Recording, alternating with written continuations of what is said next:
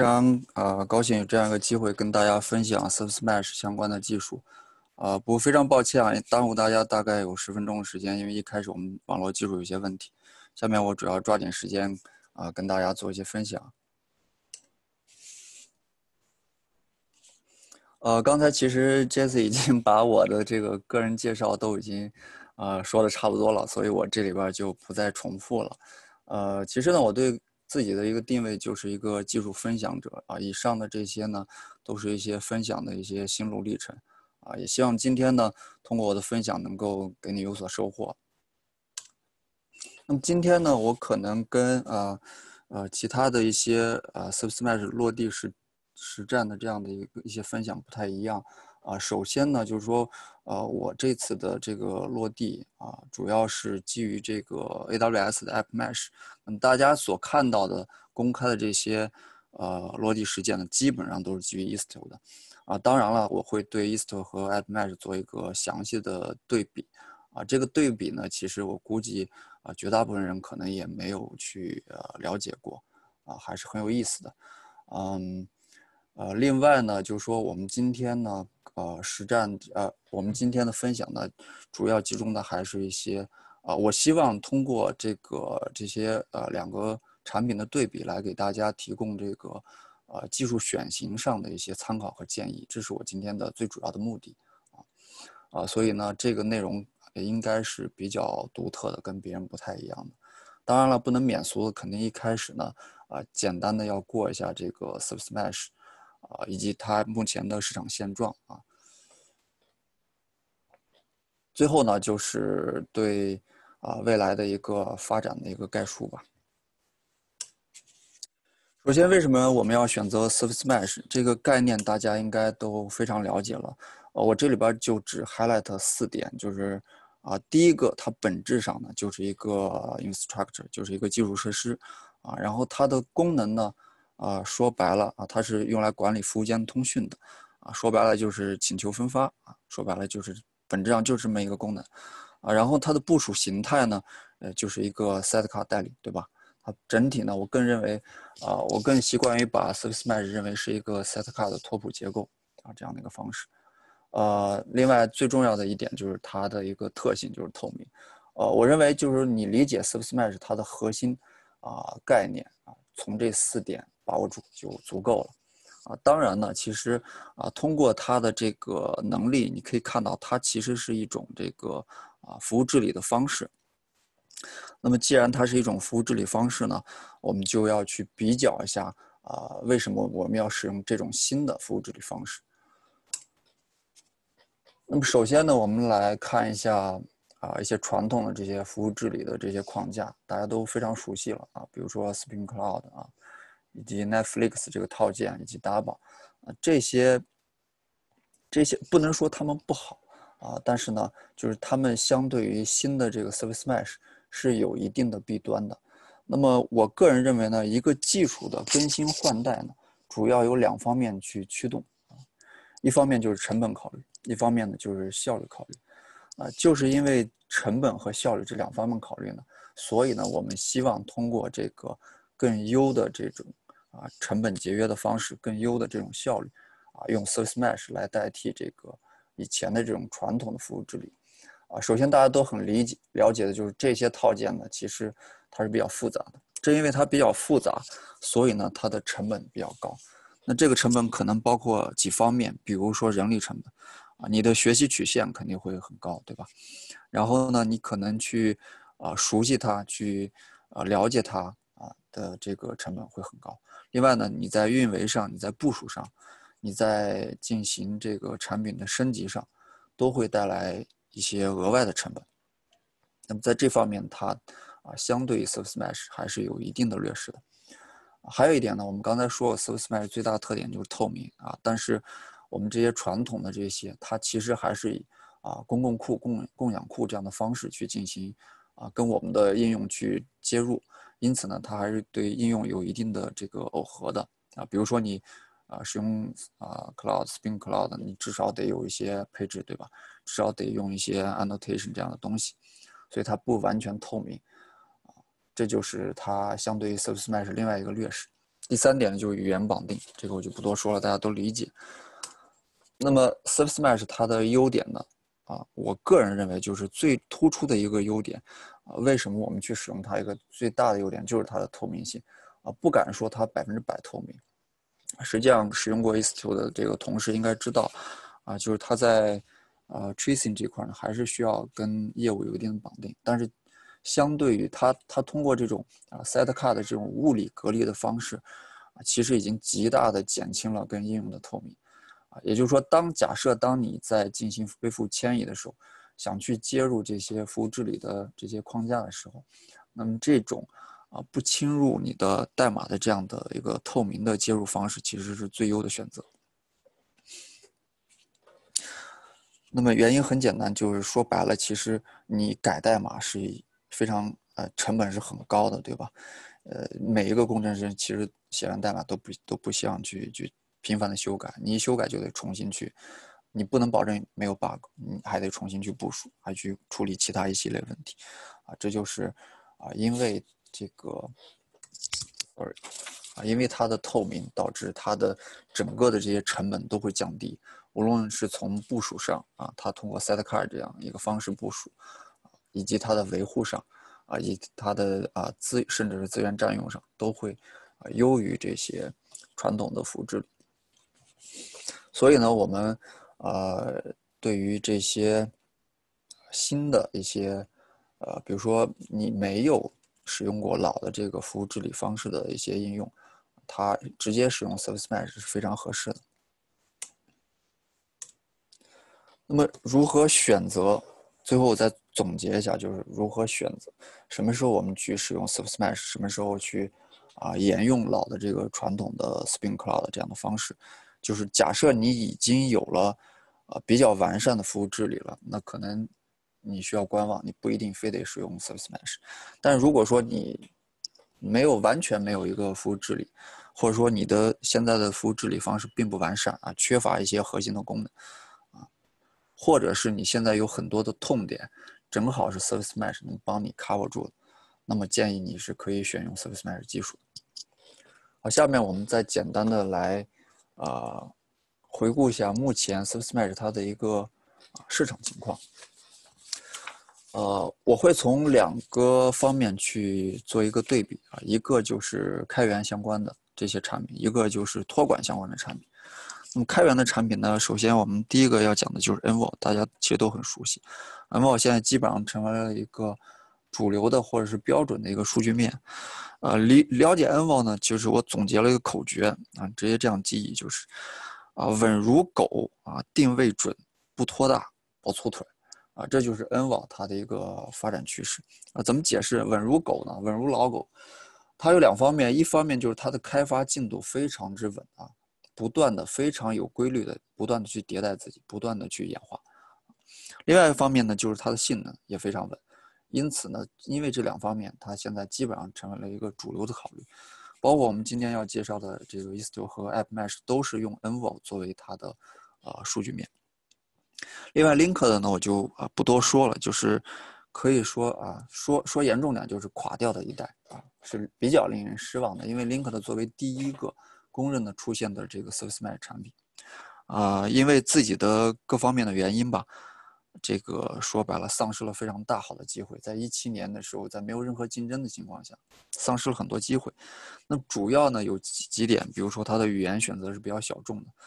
啊，它选用一开始用的是 Scala，后来呢这个 c o l i n 的这个 Link 的二版本呢用的是这个 Rust。啊，因此呢，因为小众语言，所以缺乏社区支持。同时呢，它又双线作战，两个产品同时双线作战，啊，资源没有整合在一起。还有呢，就是我把它叫做认贼作父，就是它明明跟 Isto 是一个竞强竞争关系，但是它又最后又啊，一看 Isto 火了，又去兼容它。啊，这个策略反正各种变化，导致它现在是有点一蹶不振。呃，Motion 简单说一下，咱们国内的翘楚就是蚂蚁金服，大家也非常熟悉了。呃，作为蚂蚂蚁金服里边 Sofa Mesh 里边的数据面，现在也是啊，非常的发展的非常不错。那么它出为什么出现这样一个自研的原因，主要其实啊还是跟这个这些厂商的啊内部的原因，比如说他们需要 RPC 的支持，一些协议需要协议的支持，以及引入新的语言的一些呃这些这些呃阻力啊，导致他们啊宁可使用这种自研的方式去实现。啊，Mosen 是支持了去年的双十一大促啊，这个大概。大家应该也可以从啊一些网上资料找到，就不说了。具体他们支持的节点数，啊炮的数应该是超过十万个，非常的了不起。呃 e a s t o 这里我就不多说了，一会儿我们会做一个详细的比较。然后这个 Kuma 这个是空这个公司开发的啊，现在具体情况不太了解。呃，然后今天这边托管的呢，我主要是会介绍这个 AWS 的 App Mesh，也就是我我们公司做实践所选用的一个 Mesh 产品。那么它实际上相对于 Istio 来说呢，它出现的是比较晚的，它是一八年底的这个 Reinvent，是 Reinvent Reinvent 上出现啊提出，然后在一九年的四月才开始正式的 GA，呃，实际上还是不是特别完善，啊，不断的在在优化，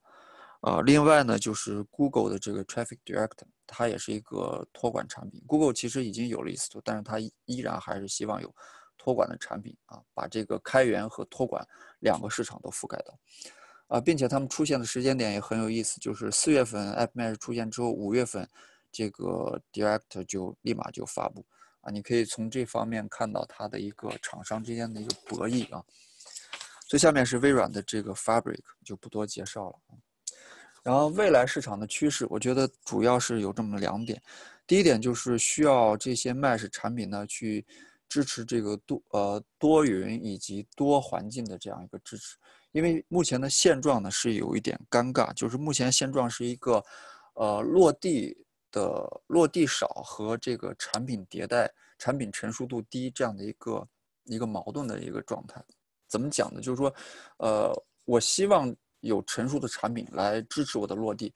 呃，所以就是应用方在观望，希望你的产品成熟，而。产品方呢，又希望有更多的落地实践，来通过反馈来不断的完善自己产品，所以大家都在观望，这有点形成了一个死锁的一个一个情况。所以目前的这个厂商还是希望通过我这种多环境的支持，因为大家都知道，现在其实并不是所有的，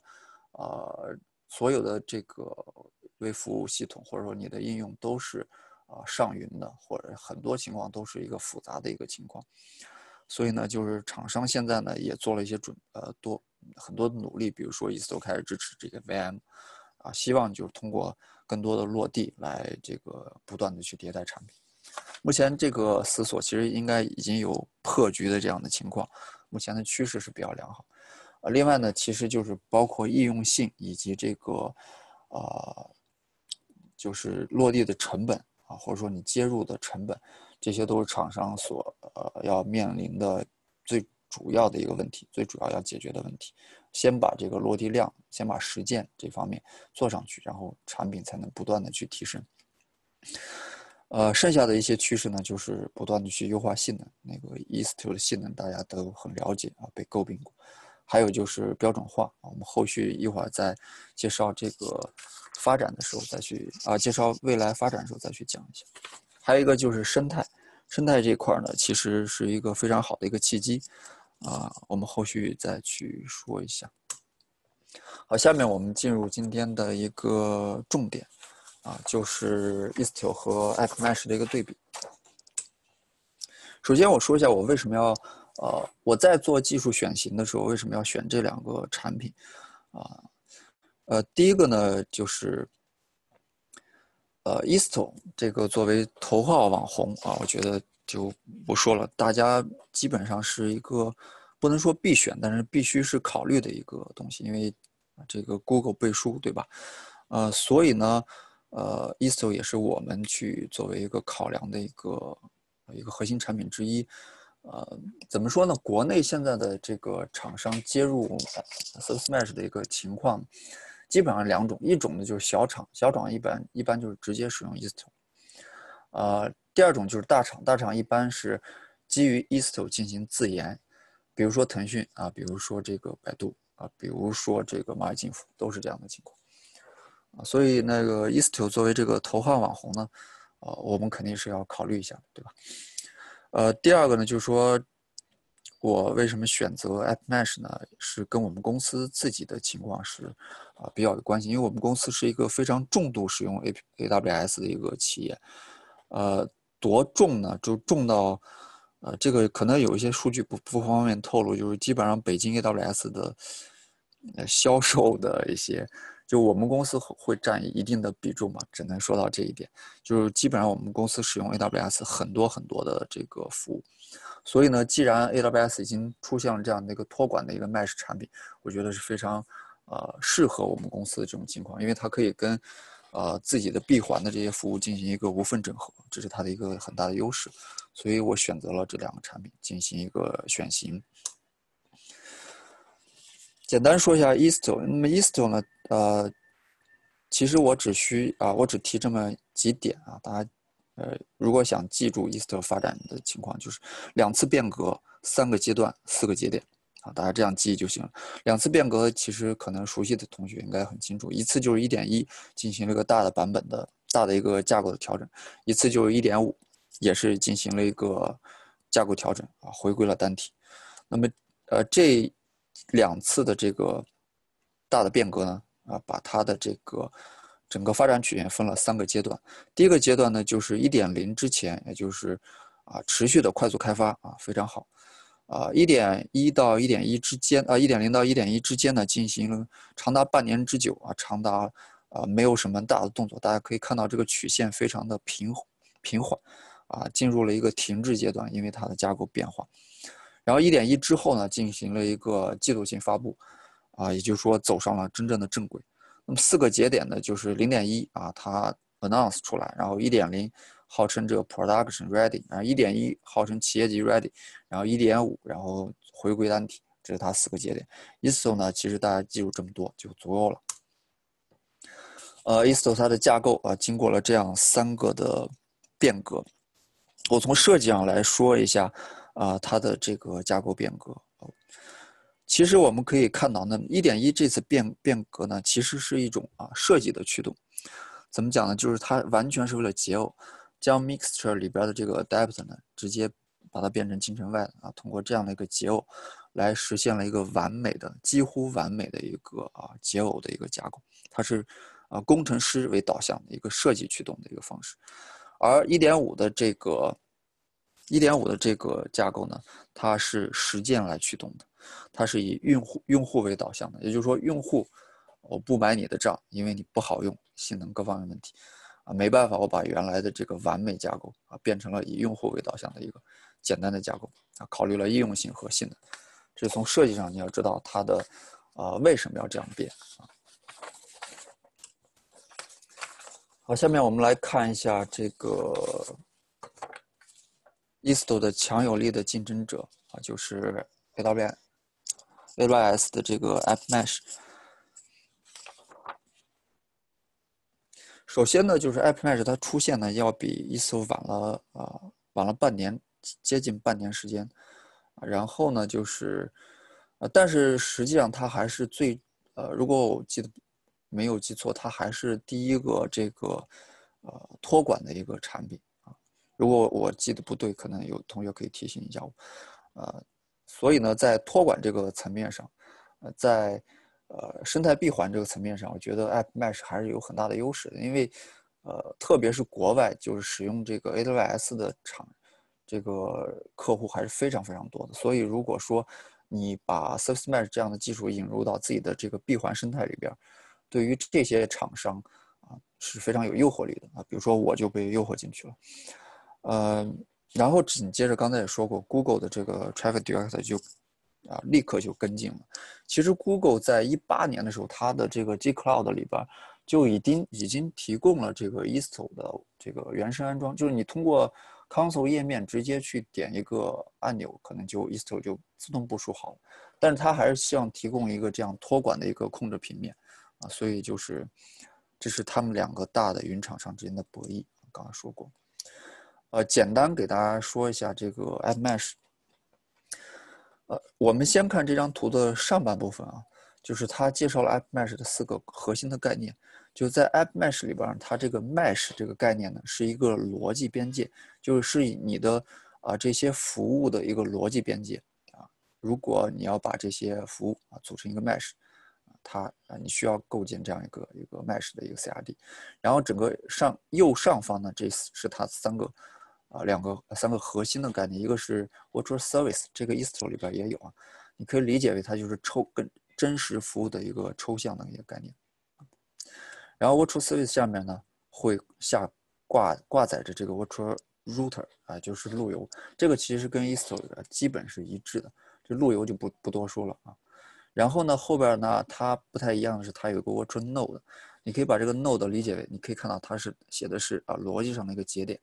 啊指向了具体的这个 Service 或者是 K8s 里边的这个 Deployment，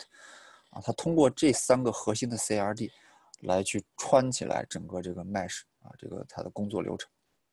然后左下方大家可以看到，这是 App Mesh 一个最大一个优点，就是它支持啊多样化的这个 workload，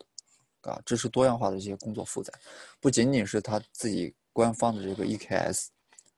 然后它的 ECS 以及它的 EC2 Far Fargate 啊，甚至是这个 VM，它当然肯定是支持的。它的理念呢，就是通过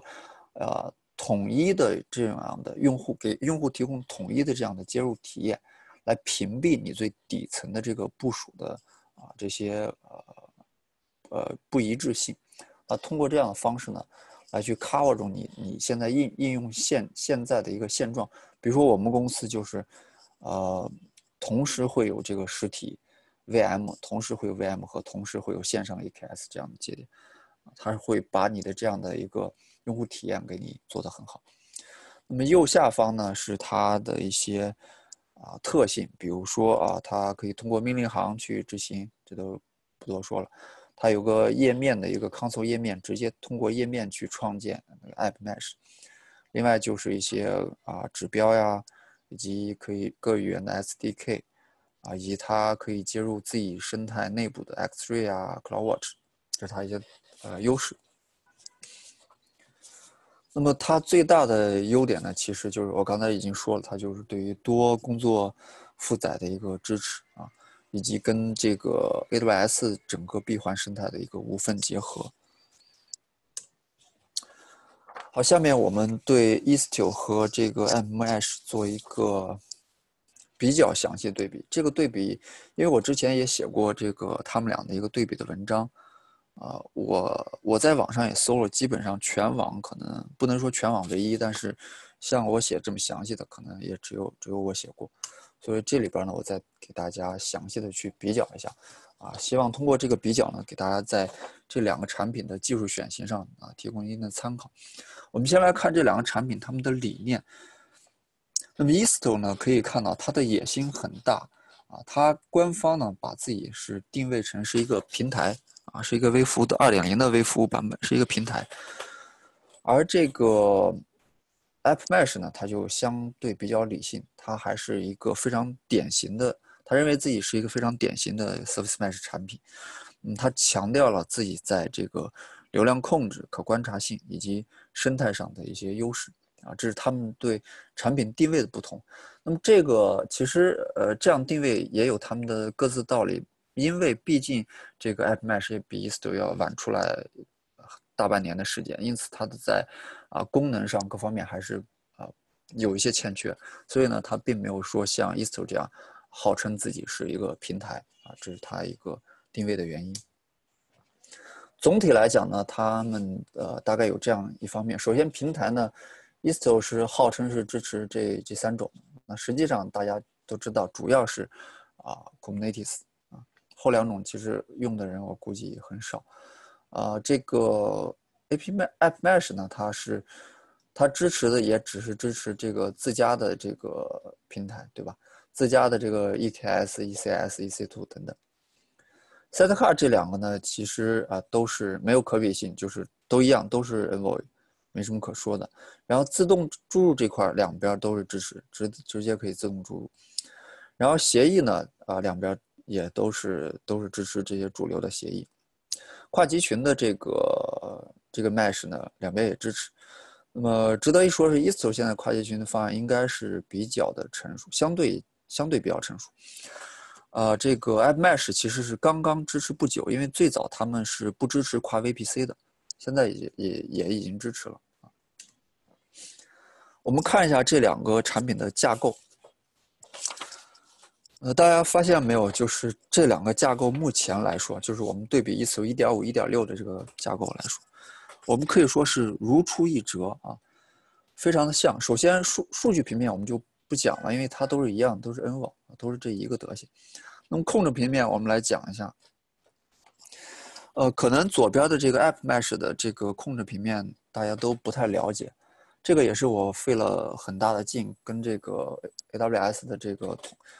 啊小伙伴，就是跟他们反复沟通，然后从他们的开发团队获得的一些信息。啊，当然了，这个肯定是他们允许去去公开的啊。简单讲一下，就是在 App Mesh 里边，它的控制平面呢，主要包括三个组件。第一个是这个 Front End Service，这个呢，它主要的功能是用来进行授权认证以及啊这个入流量的验证做这个工作。它相当于 Istio 里边的这个负责安全的这个 Sentinel，相当于这个组件。第二个呢，Transformer。这个呢，大家一听这名字就知道，它主要是用来进行配置的，啊，这个转换，配置的转转换，就是说把我们的这个 App Mesh 的这个配置，如何通过它来转换成 Envo，因为大家都知道，我们最终啊所有的这个 configuration 都要变成 Envo 它可识别的这个配置，啊，通过这个 transport 进行转换，它的这个角色呢。啊，相当于 Istio 里边的这个 Galley 和这个 Palette 的一个结合体。第三个呢叫 Envoy Management Service，它主要是用来管理跟 Envoy 之间的一个啊连接，以及把这个配置下发给 Envoy。那么这个呢就是这个 EMS 这个组件呢，其实有点类相当于这个 Istio 里的这个 Palette。那么这两个呢，呃，为什么变得？其实大家为什么控制平面变得有点相似？啊，其实呢，就是啊，Istio 呢，它我们刚才说它经过两次架构变更后，它其实是走了一很大的弯路，最后呢，它又回到了起点，可以这么说啊，可以看到它现在的架构回到了这个跟这个 App Mesh 相同的一个起跑线上，它们俩的这个控制平面呢，啊，虽然它的组件啊不一致，但是它们基本上覆盖的功能是类似的，这两个呃设计呢。也不能说谁优谁劣，他们的从设计的理念上来看呢，你可以明显感明显的体会到呢，App Mesh 它是通过一种面向数据流的方式进行这个控制平面的设计啊，怎么讲呢？就是首先呢，第一个 From End 它用来控制啊 Input 这样的一个数据流，然后数据流到了中间呢，进行一个 Pass 进行一个转换啊，然后再通过这个 Envoy Management Service。把这个数据流转发到下发到这个 Envoy，它是一个非常典型的一个面向数据流的一个分层设计。而 Istio 里边它的这个控制平面平面呢，目前这三点呢，可以看到它其实是面向功能的设计，也就是 Palette 它面向的功能呢是整体的数据面的管理，啊，Cintel 呢它面向的功功能是安全，啊 Galley 呢面向的功能是这个配置，啊以及跟这个。底层的平台的一个结构，所以呢，这两种设计我觉得都都不错啊，都很好啊。只不过他们是说白了就是殊途同归啊，达到了同样的目的。好，说完架构，我们说一下这个特性。呃呃，说说一下功能。功能点呢，就是 Istio 这个原来其实官方大家也可以看到，它是有四个大的功能点啊，核心是流量控制，然后安全可观测性，还有一个策略。啊，随着这个架构变更，把这个 mix mixture 去掉之后呢，策略这块呢，它有一部分一小部分呢，这个由这个 Envo 负责，另外一部分就就遗失了。呃，目前还是三大块功能。那么 App Mesh 呢，其实也类似，但是呢，其中它不太一样的一点就是安全这块这块，我个人认为它是相对啊相对薄弱一点而已。主要原因就是它对比 Istio，它没有这个。比较完善的这个认证和授权的策略，比如 Istio，你是可以进行多级的这个授权策略的这个设置的，，App Mesh 里边是没有的。但是呢，App Mesh 它的优势就是它跟自家的这个非常成熟的 IAM 是集成的，就是 IAM 其实本身就是一个这个安全相关的这个一个服务嘛。所以我我不知道它这个考量啊，是不是因为这个 IAM 已经提供了可以覆盖这些啊安全上的这些场景的一个情况，所以它没有。啊，深入的或者说没有这个比较底层的这些安全的设置。总体上来看，它的这个，因为毕竟它推出时间短，它的功能上的还是不如这个 Isto 完善啊，还是有一定欠缺。但是它的核心的这个流控其实基本上是差不多的。呃，流控方面，Isto 主要是分了三大块啊，一块就是最核心的、最常被使用的路由以及这个流量转移这块。基本上的大家可以看到，我就不细说了。主要比如说啊，load balance 呀、连接池呀都有，以及这个按照百分比和按照这个 header header 按照路径去进行流量切分分的方式都有。啊，另外一个就是弹性相关的超时重试熔断这些，Isto 也支持。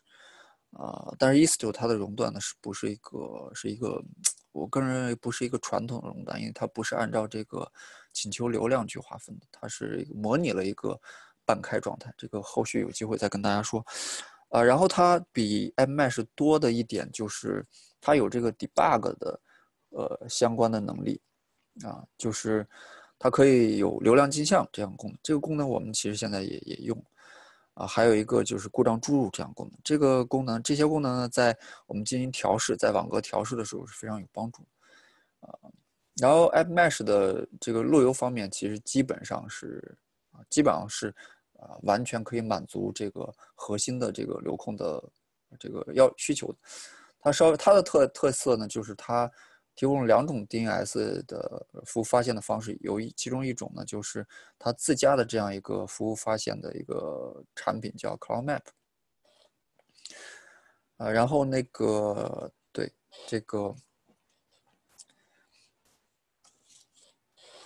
弹性这块呢，它其实也基本上支持，但是它的这个 timeout 也是刚支持不久啊。好，我们来说一下他们的核心的这个自定义资源，也就是 CRD 啊。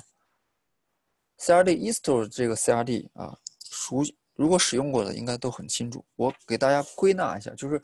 你可以仔细的去，我不知道大家有没有看看看我这个图，有没有去仔细考虑过它是如何规划它的这些。呃，流量控制的资源的，就是它通过了一个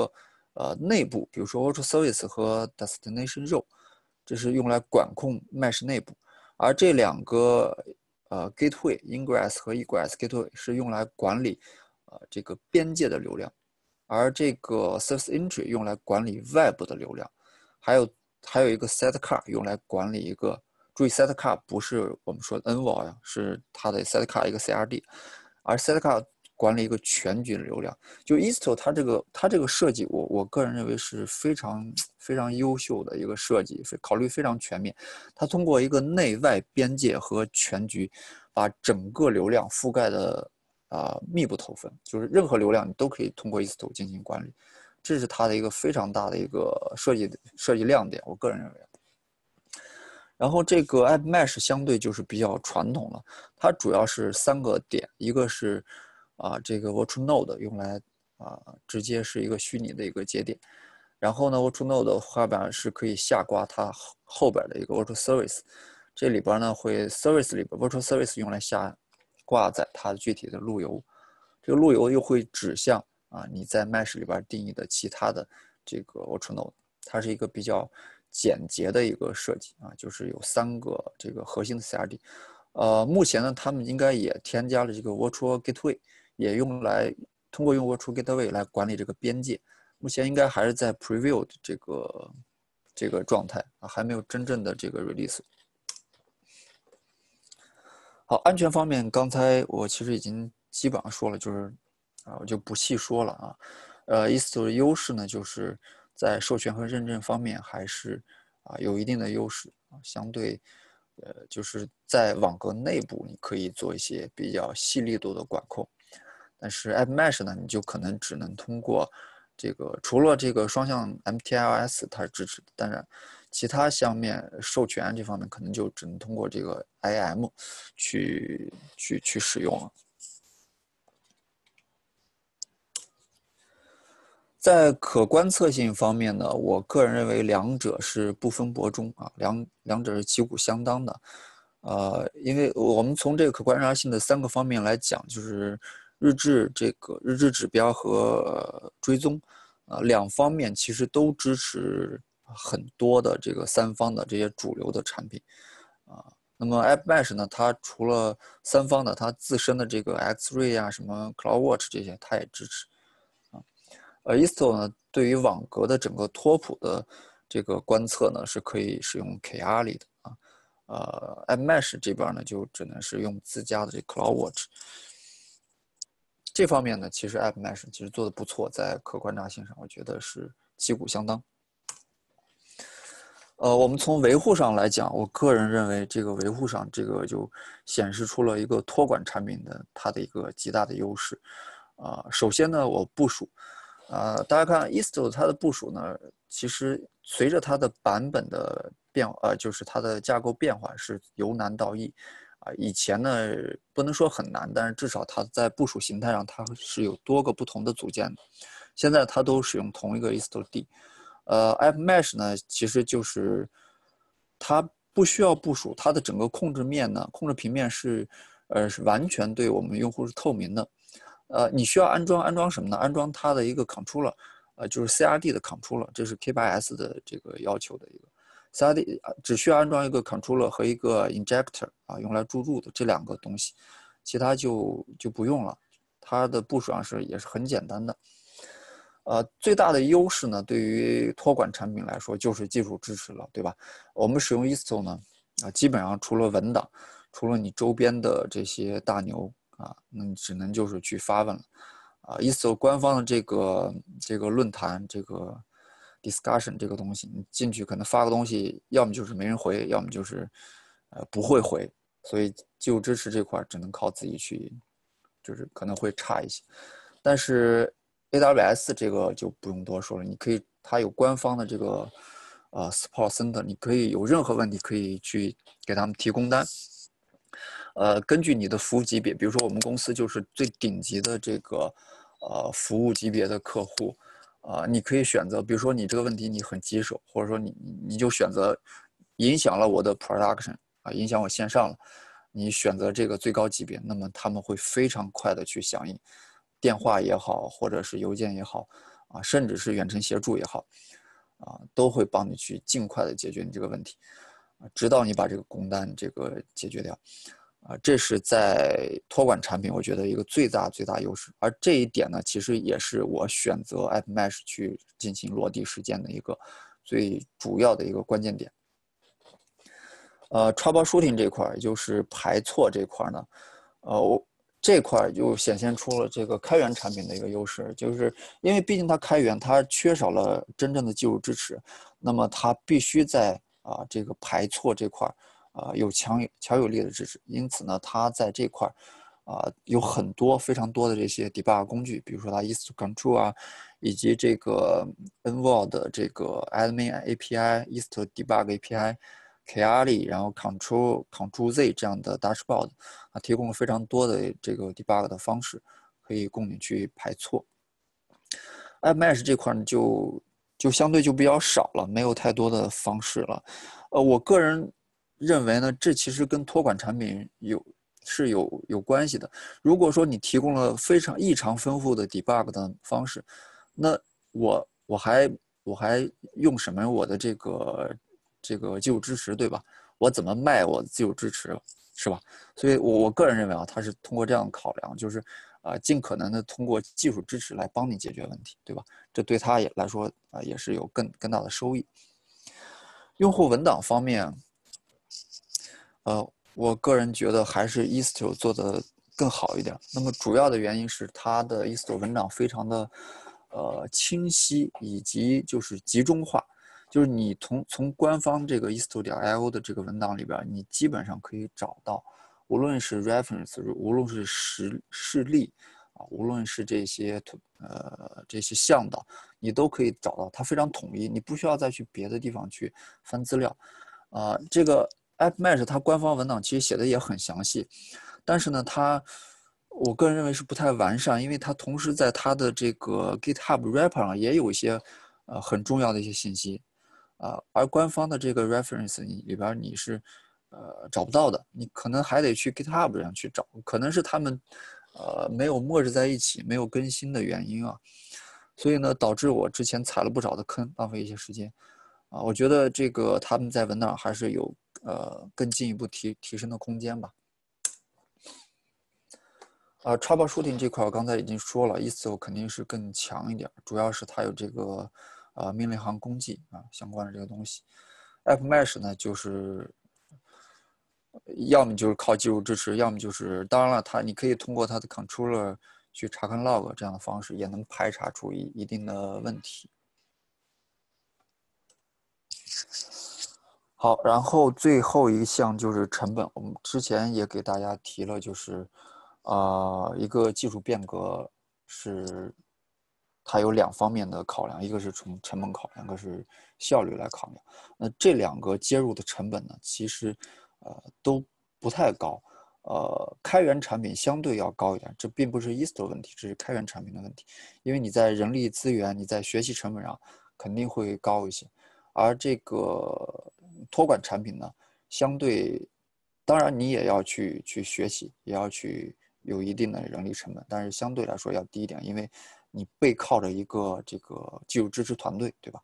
一个专业的技术支持团队，这个会 cover 住很多你出现的问题，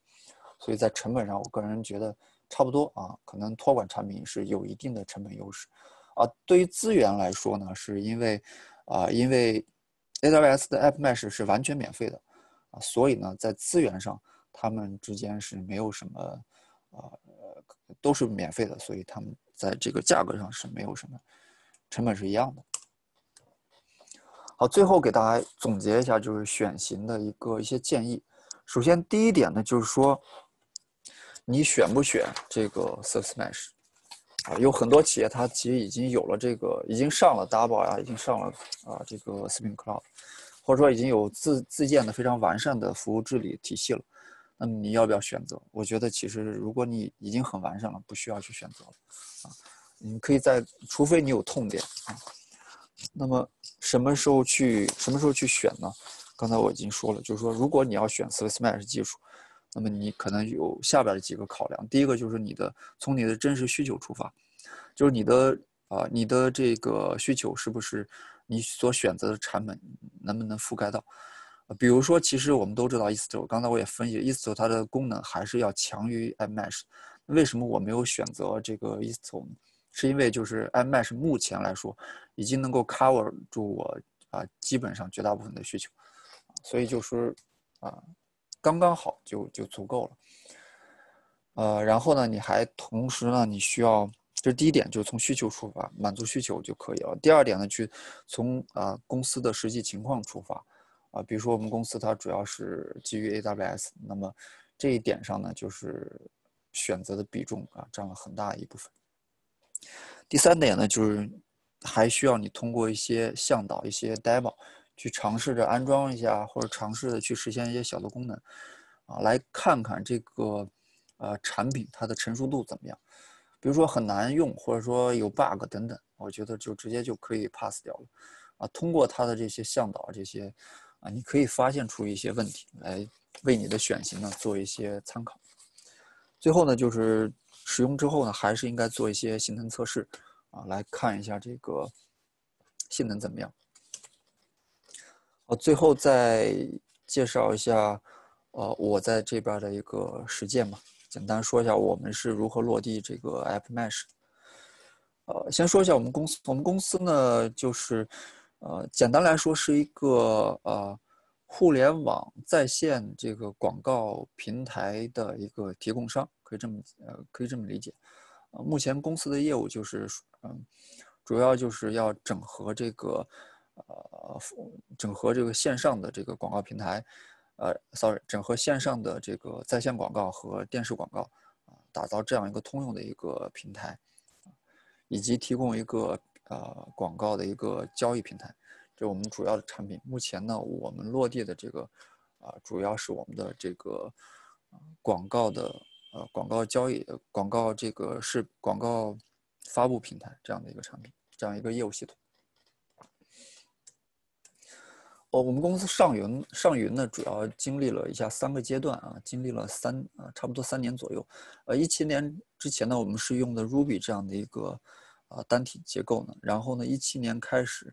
啊，就进行了大概差不多两年左右的这个向微服务的一个迁移的过程。这个迁移过程中呢，其实我们是呃通过一个快速迭代的方式，就是通过自底向下的这样的方式去构建这个微服务。什么意思呢？就是各自的小的业务团队去先构不先构建，直接构建自己的微服务应用，而不是说从上到下的去先设计啊底层的基础设施，设计中台等等，因为那样会会比较慢，那样的呃缺点是比较慢，呃，但是呢，它的优点就是有统一的控制，我们是这样的优点是比较快速的能够迁移。但是缺点呢，就是可能如果说设计不合理的话，可能就缺乏了一些呃统一的这个这个中间层这样的东西。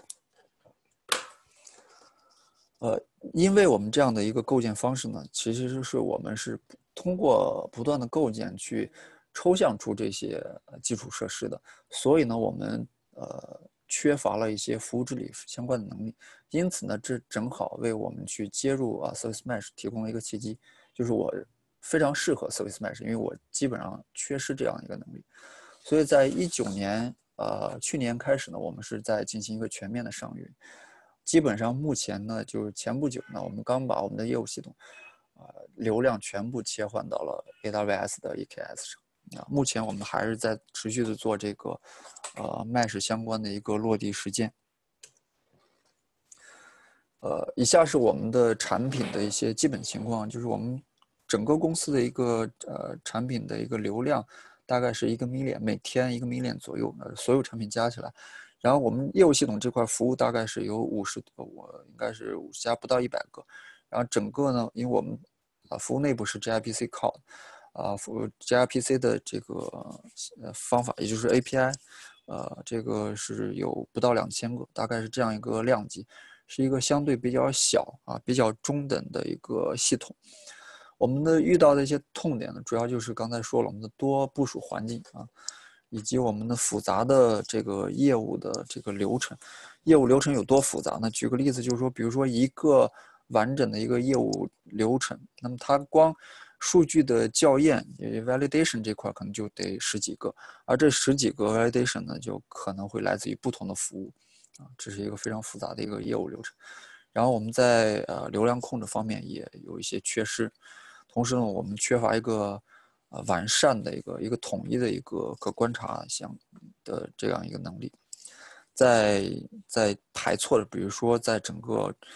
呃流呃这个服务的。服务链路的排错上也是有些缺失，所以呢，基于以上痛点，我们就接入了这个 Service Mesh。那么 App Mesh 呢，它的接入呢，刚才也说，它的接入是非常简单的。首先呢，保证你有一个在 AWS 的这个平台上，保证你有一个呃 App Mesh 的 For Access 这样的权限，给你的集群有设置这样一个权限就可以了。然后你只需要去安装一下这个 CRD。啊，然后安装一下它的 controller 和 injector，这 controller 和 injector 主要是用来管控这个进行这个 CRD 管控的。啊，刚才说了，它的控制平面你不需要安装，它是透明的，啊，完全是一个透明的，因为这是 AWS 服务它的特性啊，基本上都是这样。然后最后就是把你的，比如说你的，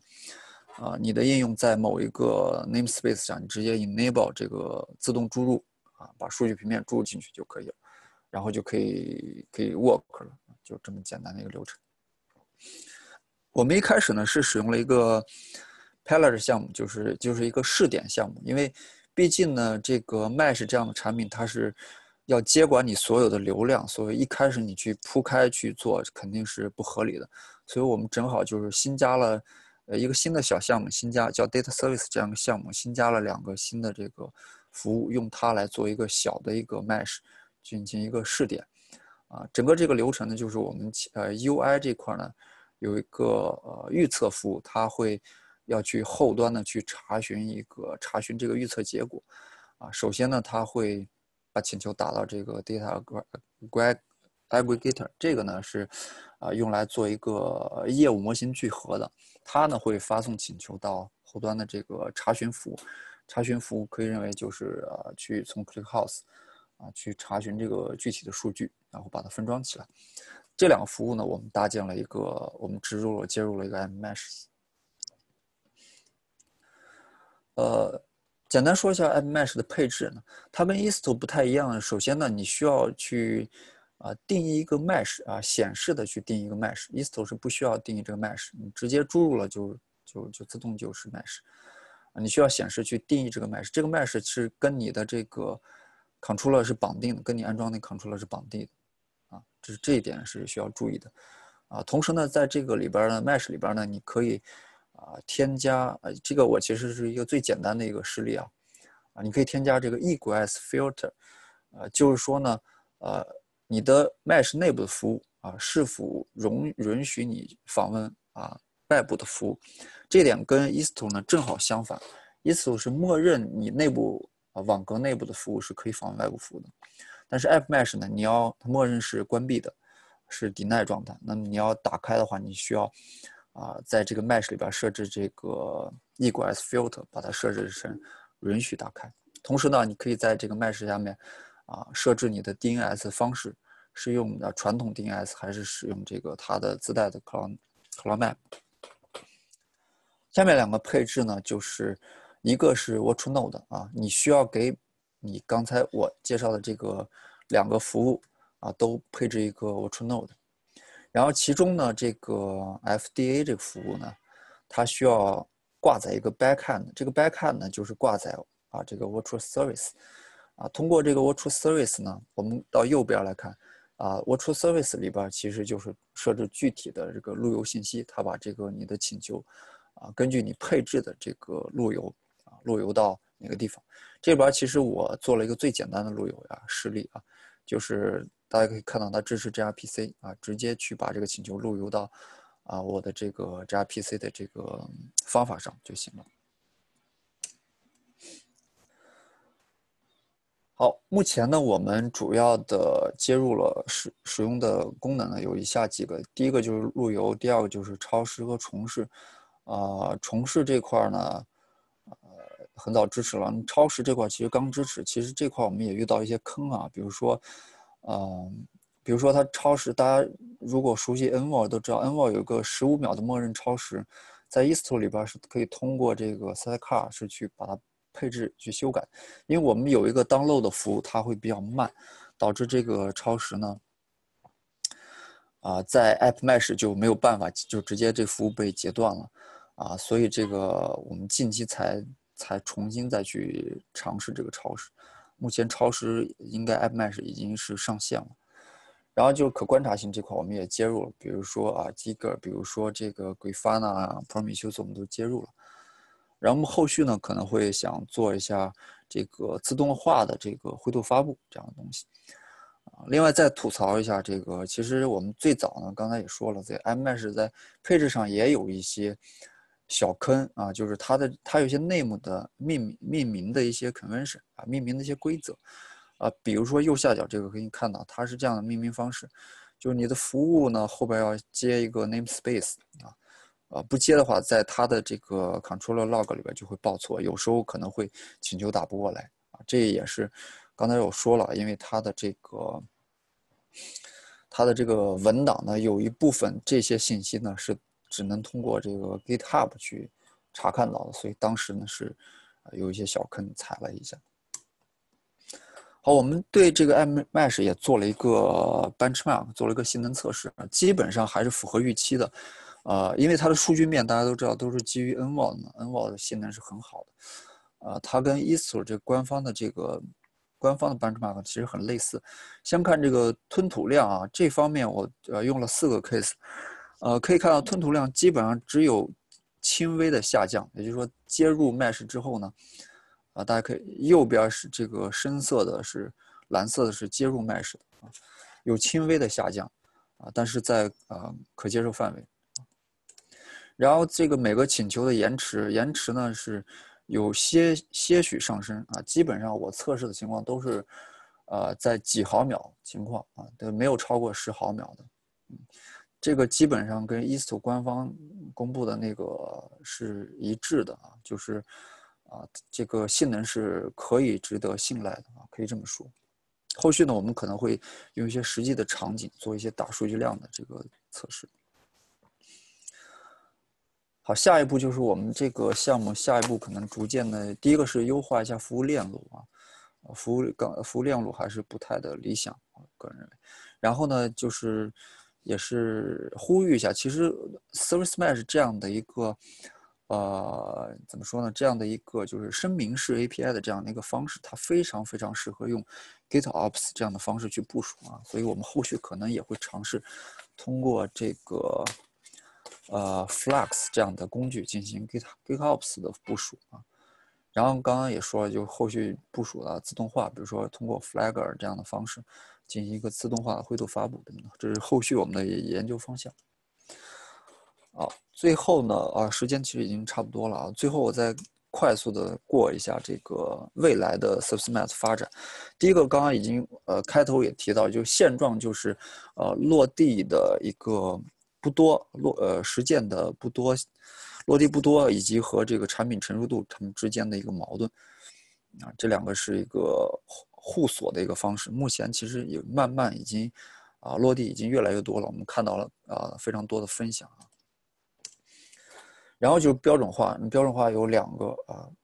可能熟悉 Service Mesh 都知道，UDP 针对于数据面的这样的一个标准啊 n v o 发起的。啊，然后 SMI 这个微软发起的针对控制面的一个一个标准，呃，标准肯定是对于我们应用方有好处的，因为我们可以无缝的去切换，对吧？然后就是我刚刚说的生态，生态我觉得是目前的一个很好的切入点，甚至是一个创业的很好的切入点。呃，比如说代表性的这个 Sol Solar，对吧？Solar 点 io 这个公司，它发布了很多这个。相关的生态产品，比如说这个 e s o 的 Portal 啊，以及之前的这个 Service Mesh Hub 这样的产品，啊，这些是呃，我觉得生态是是这样的一个循环。就首先我们通过落地实实践不断的增多，然后我们会把这些实践总结成一些我们的 UGC，总结成我们用户的一些呃有价值的一些内容，然后呢呃发布到社区，啊，社区呢逐渐呢通过这些有价值的东西。啊，是呃，通过一个平台发布出来，然后由这个平台呢再生成啊对应的这个公共库或者工具，而这个这些工具呢再反哺到具体的我们实践啊，改善我们的实践，这个生态圈我觉得是未来的一个发展方向。最后就是 Service Mesh 模式啊，所谓它的这种 Mesh 模式呢，就是以通过啊 Sidecar 这种物理隔离的方式。啊，来够提供一些能力，比如说 Service Mesh 就是通过这个呃 Sidecar 来提供流控的能力，对吧？那么其实还是有很多，比如说 DB 的 Mesh 啊，Message 的 Mesh、Cache 的 Mesh 来提供其他的这些分布式能力。我觉得这也是一个未来的一个发展方向。好，最后我今天的演讲就到这里。希望今天今天主要再总结一下，今天主要给大家介绍了就是这两个核心产品一个对比，希望对大家的选型呢，呃，策略有一些的收获。另外，简单介绍了我们自己在 AppMesh 的一些实践。啊，大家如果有任何的疑问呢，可以通过下面的方式联系到我。啊，然后这个是我的两个目前我所负责的两个。呃，这个社区第一个是 Service Mesh，是我们目前中国，呃，垂直这个领域应该是第一大社区啊，有很多啊非常好的 Service Mesh 相关的资源，大家可以看到。然后新的这个云原生社区呢，是一个呃知识星球，大家可以在里边给我提问啊，里边也有很多其他的这个相关的云原生的大牛啊，大家可以给他们提问。好，我的分享就到这里。嗯，我来看一下。问题，呃，这个问题是可不可以，呃，简单的谈一下 gRPC，呃，这个问题比较笼统啊，我不太清楚你所说的 gRPC，呃，是指的跟啊 Service Mesh 结合嘛？首先就是我简单说一下，就是 Service Mesh 首先它是呃四层和七层都支持，那么也就是说 TCP 刚才说 TCP、HTTP 都支持，那么 gRPC 呢，其实啊像 i s o 它是通过这个通过这个多路复用的方式，就是 ATP2 的方式来去支持 gRPC 的，所以啊我们。不管是这这两个产品，我觉得 gRPC 作为现在一个主流的一个协议，啊，Mesh 各种 Mesh 产品都肯定会是要支持的。嗯，这个因为这个问题实在是太笼统，我不太知道啊，具体想想这位同学想知道什么，我觉得后续可以再再我们再私下再再探讨啊。好，那个主持人如果没有别的问题，那我今天的分享就到这里就结束了。呃，好的，非常感谢马若飞的精彩演讲哈，非常棒，让我们也知道了在 Service Mesh 这个领域，除了有有 Istio 呢，还有 App Mesh 这样一个非常不错的工具。那么今天由于时间关系，我们的活动就只能到这里了。然后大家如果有其他问题呢，也可以在社区里面跟马老师再继续的交流。非常感谢各位的积极参与。那么。本次网络研讨会的录像和幻灯片呢，将于今天晚些时候上线，也期待在未来的 CNCF 的网络研讨会中呢，再次与您相见。祝大家满载而归，谢谢。好，谢谢大家。